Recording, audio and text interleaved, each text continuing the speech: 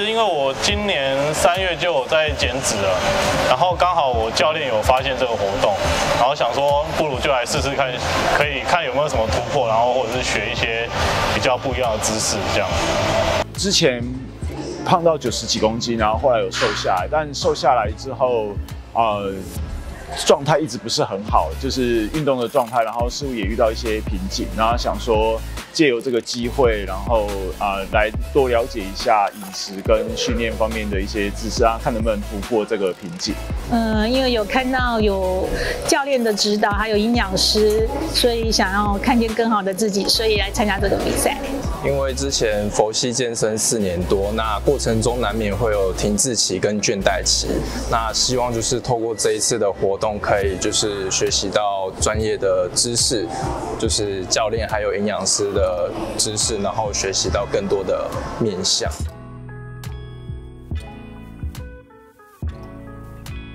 啊，在训练方面的话，因为过往我们通通常都是针对一个部位一天。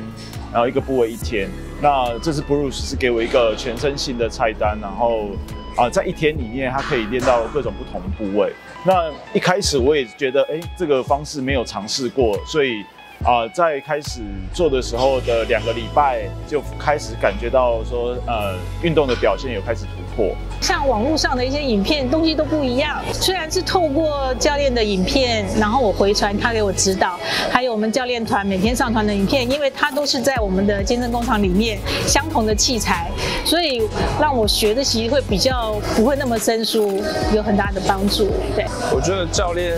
最棒的地方就是他可以建议我课。表，那比如说今天可能练胸，就是可以顺便练三头；那练背的话，就可以练二头，就是比较有系统的规划性，不会说就是我今天来到健身房，然后就是瞎练，就是看到空的器材就练，然后会变得就是不知道自己在练什么。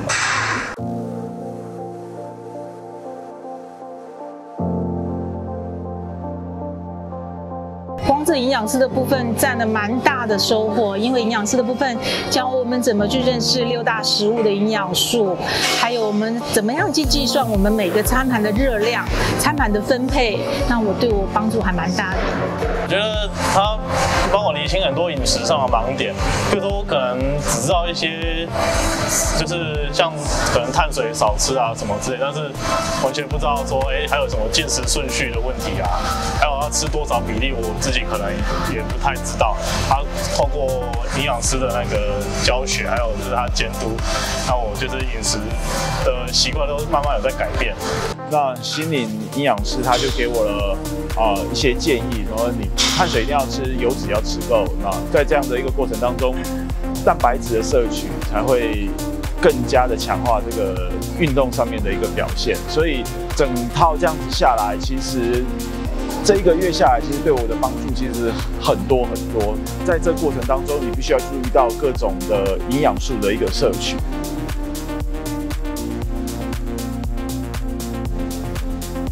是有点痛苦，是在于因为以前的习惯都要被改变，那可能有些东西很爱吃的都不能吃，而且因为这个活动有营养师在盯，有时候会觉得有点痛苦，因为有时候营养师也是有点小，也不能说严格啊，就是他会发现你哪些 NG 的时候，也会觉得很不好意思这样。到了第二个礼拜的时候，就觉得这个备餐还有上传的部分，还有跟他报告这些饮食内容，觉得蛮有大的压力。觉得最辛苦的部分。分就是饮食，那因为我的理想体态是增肌增重，那每天都一定要吃到固定的蛋白质跟油脂，那我觉得有时候不会饿，然后也是要逼着自己就是摄摄取到一定足够的量，所以我觉得这很辛苦，就是这也蛮困难的，因为就是要照三餐，然后甚至点心，还有甚至还有高蛋白都要传上去给营养师看。之前减脂都减脂到一半了，然后也都参加这个活动。那其实，诶，我教练也自己都有在鼓励我。那其实这些都是我一直坚持下去的动力。那后来感觉说，整个我们大家去减重这个伙伴五位同学一起努力，所以就是刚就是整个坚持下来。我不曾想要放弃，因为你不管是健身了一个月或者是两个月，那你。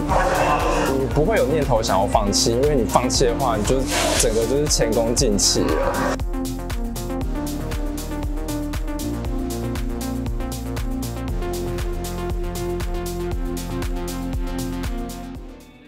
活动给我最大的收获就是说，我们的吃的吃的部分我们要去注意，不必须要靠到节食才能去把自己的身体瘦下来，还有正确的运动，然后才能够说说整个身体的线条啊、比例啊，才会调整的最好。饮食控制方面嘛，因为其实这一块以前可能都比较不太熟悉，那。透过这个活动之后，我开始知道说，哎，这些食物该怎么吃，然后甚至说，你到外食啊，吃一些像卤味啊或火锅之类要怎么选，就算你要接触，你也不用怕说吃到一些就是过量的营养素这样。我觉得最大的收获就是只有自己能超越自己，因为呃，参加这个活动的第一天就量了 in body 嘛，那活动结束之后也要再量一次 in body，那这一个月当中你就会督促自己。每天上健身房，再怎样累，肌肉再怎怎么样的酸，都一定要去训练。那就是在最后一天量英巴里的时候，是交出一张漂亮的成绩单。这活动带给我最大收获是一一个，在这个月里面有给我一个训练师，给我一个营养师，我想这个就蛮值回票价。然后第二是呃，在这过程当中，其实所传达出来的讯息跟知识，比起过往。在网络上自己胡乱搜寻，然后胡乱的这样子看，也不晓得哪一个东西是比较适合我的。但有这样子的一个训练师跟营养师，他可以针对我身体的状况跟我想要的一个理想的一个状态，给予我建议。我觉得这方面的一个知识是真的不是自己能够去去去找出来的，还是有有人去协助会比较好。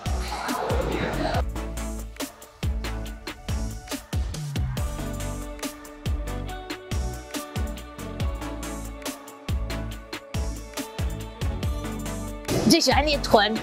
臀部，对，因为女孩子都喜欢漂漂亮亮、圆圆圆的屁股这样子。其实以前我本来是稍微有点驼背，然后后来到这边开始训练之后，然后就是就是背站比较挺，而且其实身高有变高。我最喜欢练的是胸还有背，因为是大肌群的关系，可以有效的帮助我整体健身的表现。觉得健身工厂它，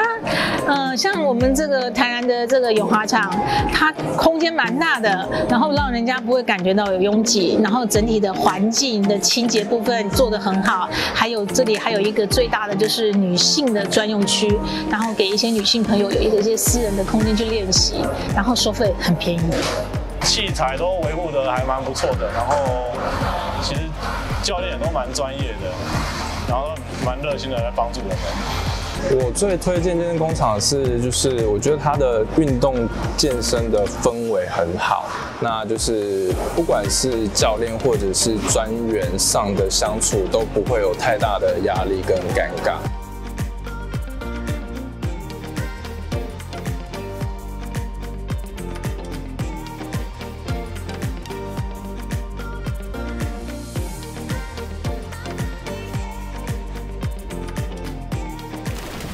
各位参赛者辛苦了，我是教育训练部的 Bruce。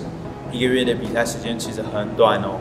主要希望大家透过这次的活动，可以学到对自己训练计划的控制，并在教练的监督状况下养成运动的习惯。